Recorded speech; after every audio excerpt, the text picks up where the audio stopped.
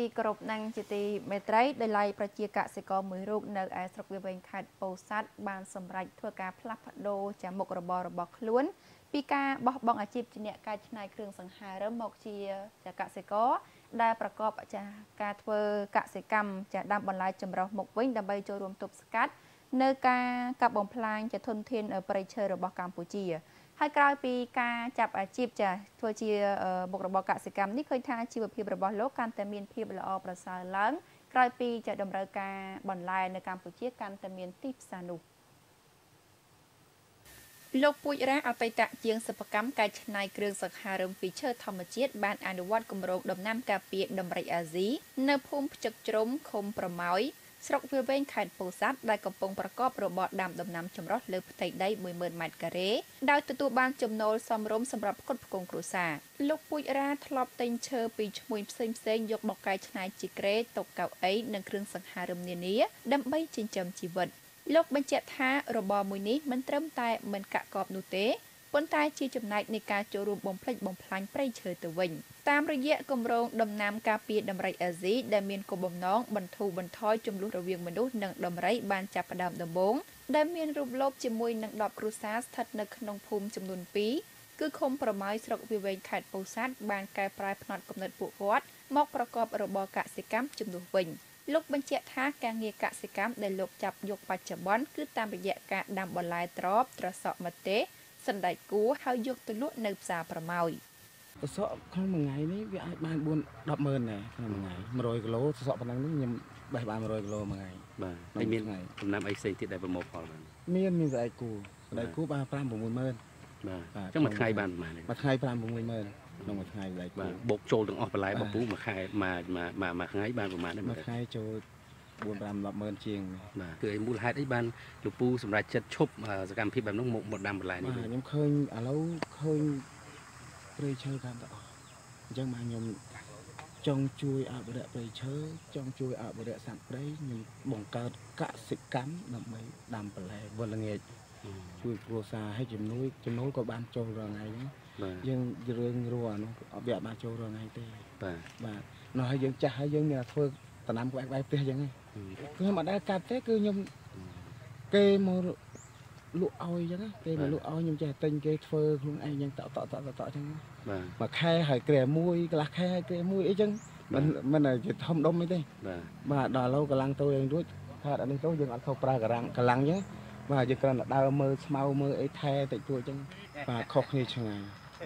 មុខរបរពីមុនវាបានថាមហូបមហូបមហូបអត់ចង់គ្រប់ទៀតតែឥឡូវនេះយើងបានចំណូលរាល់ថ្ងៃមួយថ្ងៃ5 10ម៉ឺន10ម៉ឺន5 10ម៉ឺនហើយយើងចាយអស់តែ2 3ម៉ឺននេះក្នុងមួយក្រុមគ្រួសារយើងដំណើរយើងចូលយើងអាចបានសល់ខុសពីមុនឆ្ងាយខុសចុង90%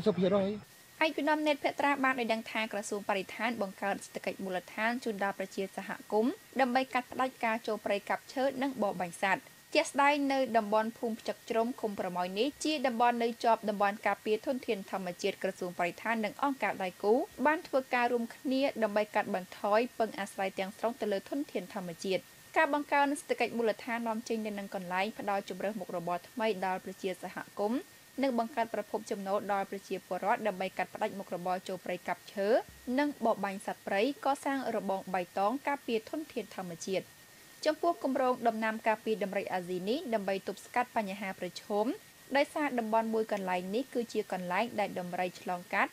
ដោយក្នុងនោះដំរីវាអាចស៊ីដំណាំអ្នកស្រុកជំរើសថ្មីនេះគឺធ្វើឲ្យប្រជាពលរដ្ឋគាត់សប្បាយចិត្តប្រជាពលរដ្ឋគាត់មិនប្រឈមជាមួយនឹងការអនុវត្តច្បាប់ចូលក្នុងព្រៃកាប់ឈើបរបាញ់សត្វឬក៏ដាក់អន្ទាក់សត្វគឺគាត់នឹងប្រឈមជាមួយនឹងច្បាប់ហើយ ចូលព្រៃកាប់ឈើដើម្បីយកមកកែច្នៃធ្វើជាគ្រឿងសង្ហារឹមអីផ្សេងផ្សេងដើម្បីយកទៅលក់ហើយខ្លះគឺចូលទៅក្នុងព្រៃដើម្បីដាក់អន្ទាក់យកសัตว์យកមកលក់នៅតាមទីផ្សារផ្សេងផ្សេងប៉ុន្តែតាំងពីយើងចាប់ផ្ដើមពង្រឹងនៅការអនុវត្តច្បាប់ការផ្សព្វផ្សាយការអប់រំក៏ដូចជាការផ្ដល់នៅបច្ចេកទេសនៅក្នុងការ ដាំបន្លែក៏ដូចជាពន្យល់ឲ្យគាត់យល់អំពីផលប៉ះពាល់ផ្សេងផ្សេងអំពីអន្ទាក់អំពីការចូលទៅព្រៃកាប់ឈើដែលប្រឈមជាមួយនឹងមុខច្បាប់ហ្នឹងគឺពួកគាត់បានផ្លាស់ប្ដូរនៅមុខរបរហើយដូចជាប្រជាកសិករដែលដាំតសក់ហើយនឹងបន្លែបង្ការផ្សេងផ្សេងនេះគឺគាត់បានបញ្ជាក់ឲ្យថាពីមុនមកគាត់ ធ្វើជារោងសិប្បកម្មកែច្នៃឈើបាទប៉ុន្តែចំណូលរបស់គាត់គឺអត់ទៀងទាត់ទេអញ្ចឹងគឺគាត់ងាកមកប្រកបរបរថ្មីមួយវិញផ្សេងគឺការដាំបន្លែបកានេះគឺគាត់ទទួលបាននៅចំណូលជាប្រចាំហើយក៏បានជួយកាត់បន្ថយនៅបញ្ហាផ្សេងផ្សេងគឺគាត់មិនប្រឈមជាមួយនឹងមុខច្បាប់ឬក៏ការប្រព្រឹត្តនៅអំពើខុសច្បាប់ផ្សេងផ្សេងនេះជាយុទ្ធសាស្ត្ររួមមួយដែលក្រសួងបរិស្ថានបានយល់ឃើញថា ជាដំណោះស្រាយមួយដែលមានភាពវិជ្ជមាននៅក្នុងការបង្កើតនៅរបងការពារតំបន់ការពារធម្មជាតិតាមរយៈការផ្ដល់នៅជំរើសមុខរបរថ្មីជូនដល់ប្រជាពលរដ្ឋហើយផ្ដល់នៅចំណូលក៏ដូចជាមុខរបរនិងជំរើសផ្សេង